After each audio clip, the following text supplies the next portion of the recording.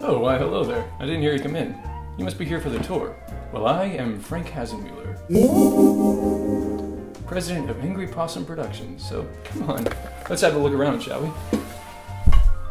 One of the great things about Angry Possum Productions is that we're like a big, happy family, built on a solid foundation of mutual admiration and respect. Well, to see this in action, let's just check in with our two vice presidents, Wesley Rutledge and Tala Habala.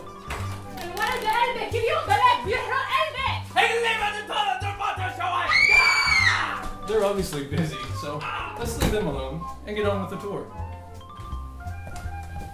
And speaking of being hard at work, here's one of our great editors working on our latest production. How goes it, Carl? Can I please just go to the restroom? I've been working for 30 hours straight. What do you think the hole in your chair is for? Now, of course, a film should use the best equipment available. And we here at Angry Possum have access to some of the top of the line video and audio equipment. Well, hey, it's Cameron Childs, frequent collaborator and owner of Sword and Pistol Digital Cinematography.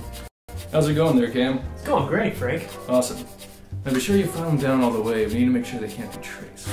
Will do, boss. Awesome. In other news, several digital cameras were stolen from Let's just turn this off then.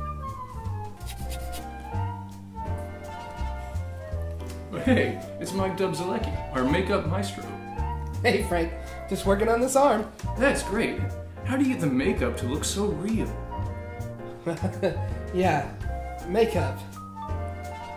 Yes, everybody here at Angry Possum Productions is dedicated to his or her craft. We are working round the clock to deliver the best. Pro- Wait a minute.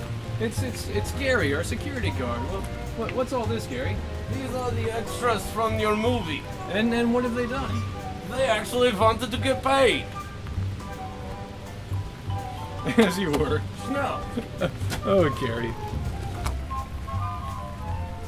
Well, I hope you've enjoyed this little jaunt around Angry Possum Productions.